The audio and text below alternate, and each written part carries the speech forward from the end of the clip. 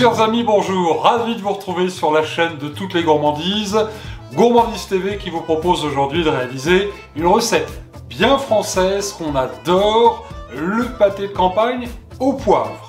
La recette de la mère mitraille bien évidemment. La mère mitraille entre parenthèses qui est actuellement en train de courir le Paris-Dakar et qui a réalisé, tenez-vous bien, une performance hier soir, puisqu'elle est arrivée dernière de l'étape. Tout de suite, voici les ingrédients de notre recette sur Gourmandise TV, le pâté de campagne au poivre.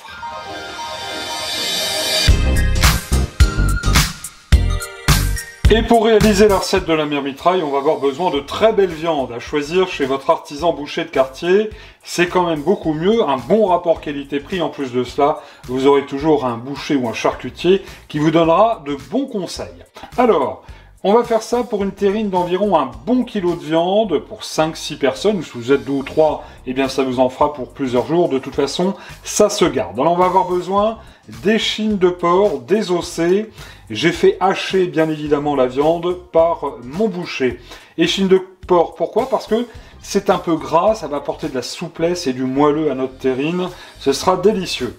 Un peu plus light cette terrine, on aurait pu faire ça pur porc, 100% pur porc. Et bien là, on va rajouter un peu de veau, 300 g d'épaule de veau que j'ai fait également hacher par mon boucher de quartier. Puis en plus de ça, ça va donner vraiment bon goût.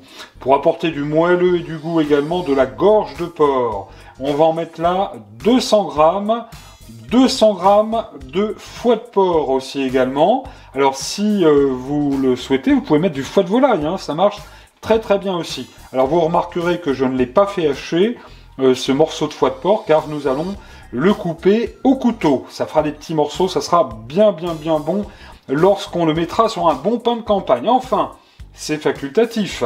Mais j'ai réussi à demander à mon boucher, qui a bien voulu me le donner, eh bien regardez ce beau morceau. En fait, c'est une crépinette, euh, ce qui entoure en fait les petites paupiettes que vous achetez peut-être de temps en temps. Ça va faire euh, un joli décor sur le dessus de notre terrine, et puis ça va apporter du goût. Alors juste avant de passer à la suite des ingrédients, on parlait de terrine, regardez les voici. C'est une terrine à l'ancienne, hein, avec son couvercle. Alors si vous n'en avez pas à la maison, c'est pas bien grave. On peut faire ce pâté de campagne, par exemple, dans un moule à cake. Ça ira très bien aussi également.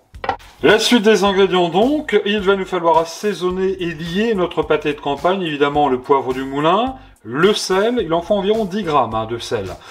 On va choisir une belle échalote, on peut mettre un oignon aussi si on veut, pourquoi pas. Euh, une ou deux gousses d'ail. On va mettre euh, une, une, bonne cuillère à soupe de cognac. Alors si vous n'en avez pas, c'est pas bien grave, mais c'est vrai que ça apporte quand même bon goût. Et puis c'est une terrine, un pâté de campagne au poivre. Alors on va mettre du poivre en grain en plus de notre euh, poivre moulu au, au moulin tout à l'heure.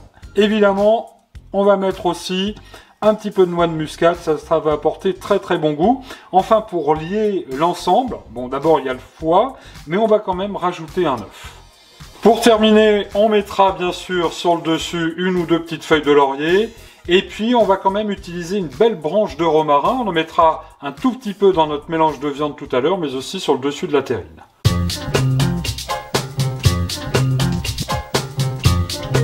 Première étape de la recette, recette entre parenthèses qui est extrêmement facile à réaliser. Alors, première étape de la recette, on va mettre toutes nos viandes dans notre saladier. On va pas mettre évidemment la crépine, puisque la crépine, on s'en servira tout à l'heure, juste avant de fermer le couvercle de notre terrine. Alors, on va mettre donc toutes les viandes. Je vous disais, recette facile à, réaliser, car au fond, une fois que toutes les viandes sont hachées, eh bien il n'y aura plus qu'à mélanger l'ensemble des ingrédients. Le plus long, c'est le temps d'attente, parce qu'on va laisser reposer notre terrine. Je vous expliquerai tout ça dans un instant. Mais aussi le, temps de cuisson. Je vous le dirai aussi tout à l'heure. Alors, toutes nos viandes donc dans notre saladier. Voilà. Alors, on va mettre aussi bien sûr les autres ingrédients. C'est pour ça que je vous disais, c'est très simple à réaliser. Vous le voyez, j'ai coupé très finement l'ail et l'échalote. Voilà. tout ceci va cuire, va se confire dans le four tout à l'heure. Pensez d'ailleurs à préchauffer votre four entre 180 et 200 degrés, sachant qu'on va faire une cuisson euh, au bain-marie. Alors, on va saler. Voilà. Alors, on va mettre une bonne petite pincée de sel, voire deux. Alors, en ce qui me concerne, je mets de la fleur de sel. On va mettre un tout petit peu plus. Environ, je vous le disais, 10 grammes de, 10 grammes de sel. C'est bien. On va donner aussi un bon tour de poivre du moulin. Alors, sachant que c'est un pâté de campagne au poivre. Alors, ce petit coup de moulin va permettre au poivre de se mélanger un petit peu partout. En revanche, on va retrouver les grains de poivre. Vous voyez, j'ai pris du poivre 5B, il y a aussi quelques petites graines de coriandre dedans. Alors pour un bon kilo de viande, on va mettre à peu près, allez, on va tout mettre, une bonne cuillère à café de poivre en grains. J'ai effeuillé un petit peu de romarin, ça va donner bon goût aussi également. On va le mettre, on va verser notre cognac. Nous allons râper de la noix de muscade. Ça apporte toujours très très bon goût aussi également, la noix de muscade. Voilà, on va y aller modérément. Là, ça me semble suffisant. Ça va apporter délicatesse et raffinement. Et puis, on va casser notre œuf, l'œuf qui va jouer le liant entre toutes nos viandes. Hmm, ça commence à sentir très très bon, surtout le poivre. Si vous aimez le poivre, c'est parfait. Alors, évidemment, un pâté de campagne, on y met un petit peu euh, les épices qu'on veut. J'ai choisi aujourd'hui de le faire au poivre. Vous auriez pu faire ce pâté de campagne également avec, euh, un 4 épices, par exemple, c'est parfait. Alors, vous allez euh, certainement vous dire, mais le foie n'a pas été haché. En effet, vous le voyez, on peut l'apercevoir, j'ai coupé le foie en morceaux, en petits dés, car j'aime bien dans un pâté de campagne bien, bien, bien retrouver euh, les, morceaux de foie. On peut mettre, je vous le rappelle, du foie de volaille si on veut. Alors l'idée maintenant, eh bien, c'est de bien bien bien malaxer, bien remuer nos viandes, de manière à ce que l'ensemble des ingrédients se mélangent bien. Si on a les mains propres, on n'hésite pas, avec les mains bien sûr. Voilà, quelques minutes après, vous le voyez, toute la viande est bien mélangée. Et là, eh bien, écoutez, il n'y a pas plus simple, puisqu'on va tout simplement couvrir notre saladier à l'aide d'une assiette ou un papier alu ou un papier film. On va laisser mariner, reposer la viande au réfrigérateur pendant une heure.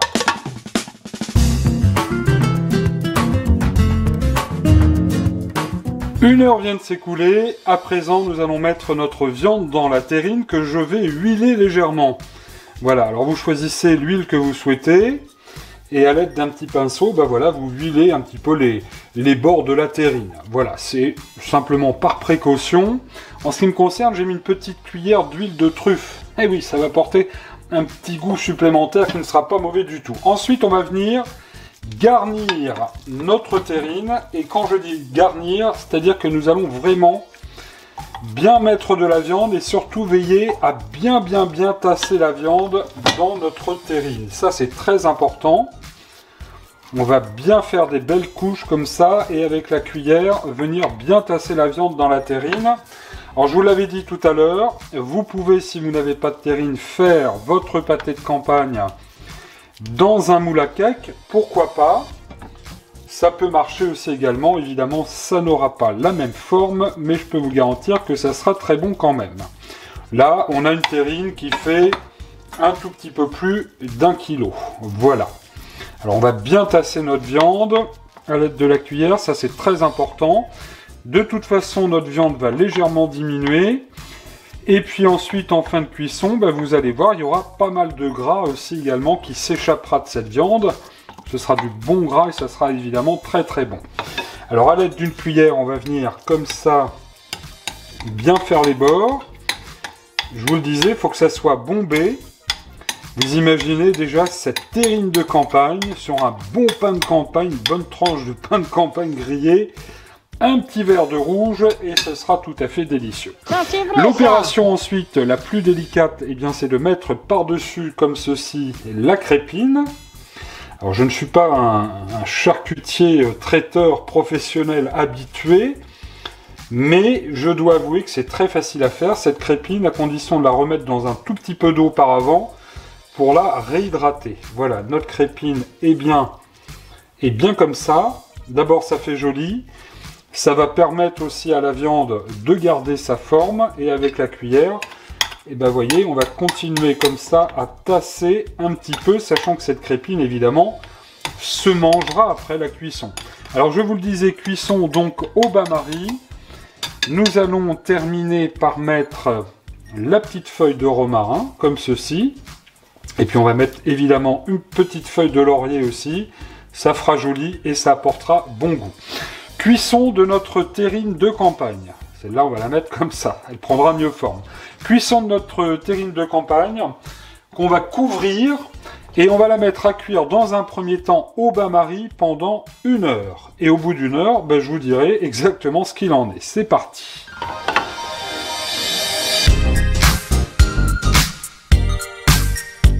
Une heure vient de s'écouler, je viens là de sortir la terrine du four. Découvrons-la ensemble. Waouh, ça n'a pas l'air mal du tout. Les parfums qui se dégagent sont absolument délicieux. Attention, la cuisson n'est pas terminée. Bon, je contrôle quand même avec un couteau, mais enfin, a priori, ça a l'air d'être bien. On va tout de suite remettre notre terrine sans le couvercle, 15 minutes au four. Ça va permettre à la terrine de prendre un petit peu de couleur et de bien dorer. La sortie du four de notre pâté de campagne au poivre vert. Alors c'est toujours un moment très attendu, vous voyez, regardez. D'abord ça sent bon, c'est bien bien doré, mais attention, on va pas pouvoir le manger tout de suite. Mais oui, en effet, c'est tentant. Chaud avec des frites, pas du tout. Il va falloir attendre le refroidissement complet de la terrine. À l'issue de ça, vous allez le mettre au moins 24 heures au réfrigérateur. Temps de repos minimum, je le dis bien, pour pouvoir le déguster.